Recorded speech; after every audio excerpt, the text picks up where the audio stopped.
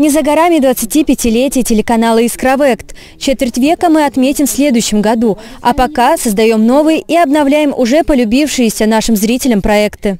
Каждый месяц у нас будет какое-то мероприятие, которое будет э, напоминать э, аудитории нашей телезрительской и нам тоже, что мы движемся к своему 25-летию, движемся с какими-то проектами, с идеями. Несмотря на то, что синоптики обещают снежный конец осени, ноябрь для телеканала «Искровект» будет наполнен яркими красками.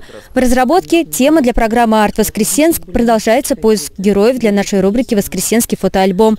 В следующем месяце команда нашего телеканала подготовит не один сюрприз для зрителей. В конце октября молодежному проекту «Аутлук» исполняется год.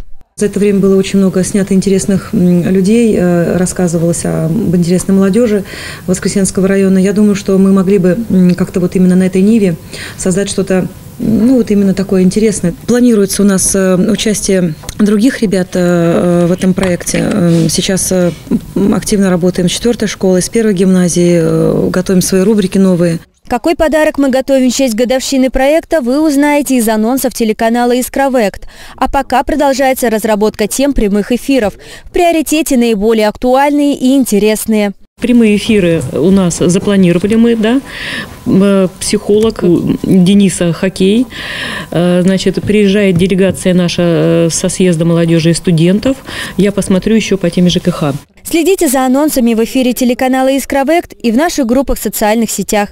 Полина Романюк, Дмитрий Волнов, «Воскресенские вести».